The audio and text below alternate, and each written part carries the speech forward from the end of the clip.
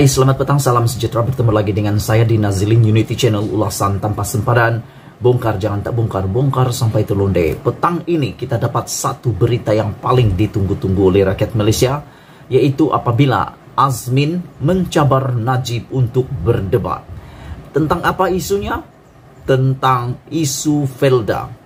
Jadi sebelum kita teruskan pada penceritaan yang lebih penuh tentang isu debat ini, Sila berikan komen Anda dahulu, siapa yang Anda rasa akan menang dalam isu debat ini, siapa yang paling pintar, siapa yang paling hebat, siapa yang akan jadi juara dalam debat ini, sama ada Najib atau Azmin Ali. Pada pendapat saya, yang akan menang nanti adalah Azmin Ali. Kerana isunya adalah apabila Azmin Ali mencabar Najib Tun Razak untuk uh, berdebat tentang isu Pel Velcra. Apa yang mereka ingin debatkan adalah Ketua Penerangan uh, Perikatan Nasional Datuk Seri Muhammad Azmin Ali mencabar bekas Perdana Menteri Datuk Seri Najib Tun Razak untuk berdebat dengannya tentang isu Felda. Katanya debat itu hendaklah dilakukan sebelum pilihan raya negeri Johor yaitu pada 12 Mac ini. Wow, ini hebat nih. Kita tunggu kalau dapat disiarkan secara live di televisyen lagi-lagi seronok sebab kita tahu apa kebenaran di sebalik kebenaran. Haha. Macam begitulah, bongkar jangan tak bongkar, bongkar sampai terlonde. Apa malu-malu kan? Kalau apa malu bosku, janganlah malu-malu pula berdebat di televisyen. Siarkan secara langsung supaya orang semua tahu tentang isu ini.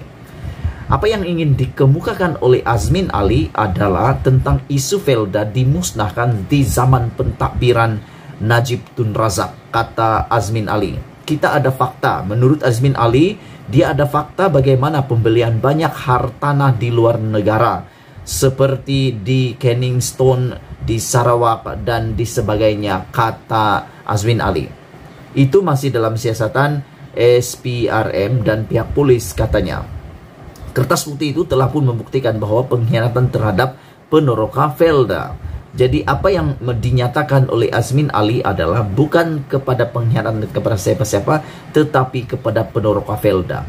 Itu terlalu jelas dan beliau tidak boleh mendabik dada bahwa AMNO menyelamatkan Felda dakwa Azmin Ali. Jadi Azmin Ali mengatakan bukan AMNO saja yang menyelamatkan uh, Felda tetapi juga menurut Azmin Ali Felda musnah di saat pemerintahan Najib Razak. Oh bagus ini kalau kita dapat tonton ini debat paling bagus. Kalau kamu setuju dengan saya supaya debat ini disiarkan secara langsung di television, sila berikan komen Anda dan jangan lupa berikan uh, ramalan awal Anda siapa yang akan kalah di dalam debat ini.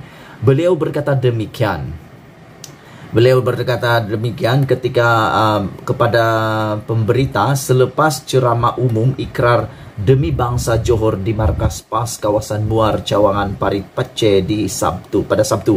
Azmin yang merupakan Menteri Kanan Perdagangan dan Antarabangsa dan Industri MITI juga mendakwa kepimpinan Najib telah menghancurkan Ponoroka dan masa depan Felda. Wow, ini satu dakwaan yang berat kepada kepada Najib. Azmin Ali memberikan satu dakwaan yang sangat-sangat berat kepada Najib. Najib perlu jawab ini dengan segera dan menurut Azmin perlu didebat. Jangan cakap-cakap saja melalui media massa. Jangan hanya cakap-cakap saja melalui Facebook. Jangan hanya cakap-cakap saja melalui Twitter. Tapi berdebat kalau berani. Wah, Azmin berani debat.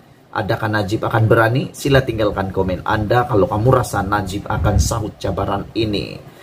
Saya sebut tadi angka-angka bagaimana tanah-tanah Felda dipajak kepada FGV. Sebelum itu pendapatan Felda amat besar untuk menampung operasi Felda dan juga kebajikan penoroka Felda menurut Azmin Ali. Tetapi akhirnya, lihat, saham FGV merudum daripada RM 4 ringgit 55 sen kepada 64 sen.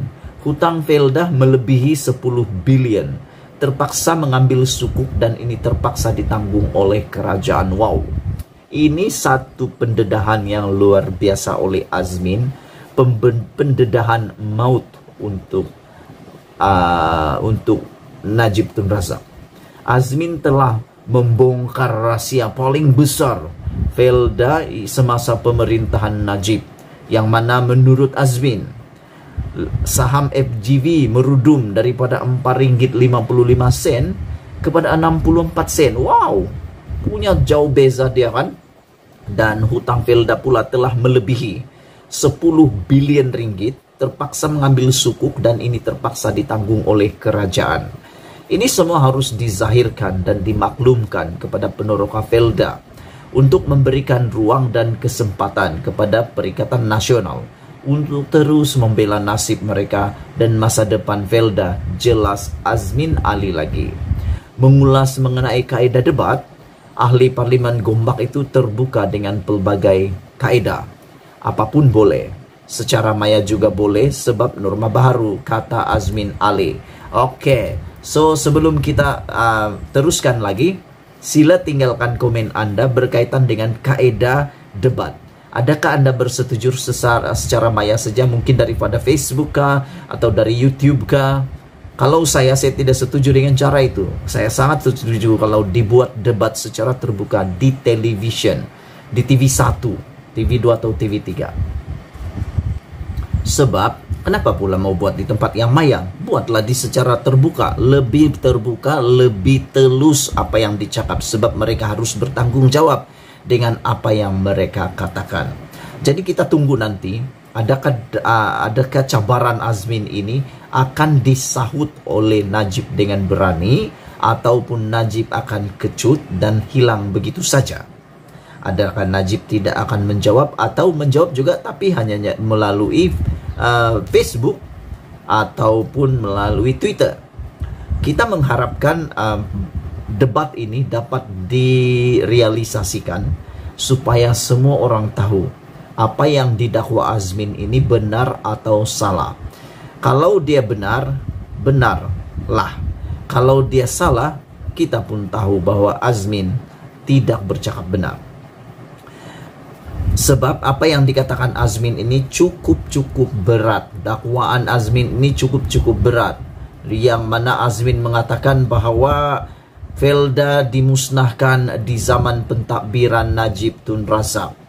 Kita tahu bahwa bagaimana pembelian banyak hartanah di luar negara di Kensington, di Sarawak dan sebagainya menurut Azmin Ali.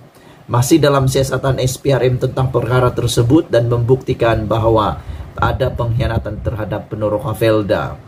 AMNO juga tidak boleh mendabik dada mengatakan telah menyelamatkan Felda, kata Azmin Ali.